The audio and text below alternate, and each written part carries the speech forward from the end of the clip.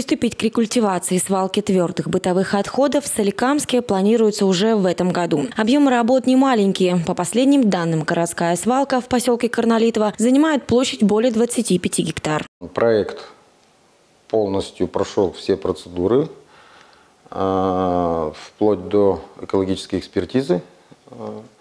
Сегодня нам средства подтверждены для реализации разрабатывается техническое задание для э, размещения аукциона.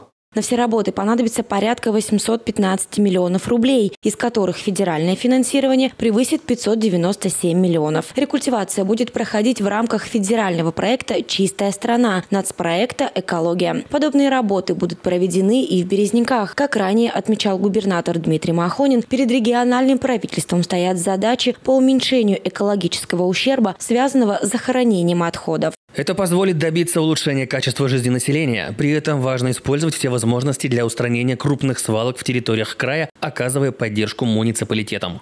Добавим, сроки по реализации проекта рекультивации Соликамской свалки твердых бытовых отходов рассчитаны на два года. Евгения Константинова, Михаил Морошкин, телекомпания «Соль ТВ».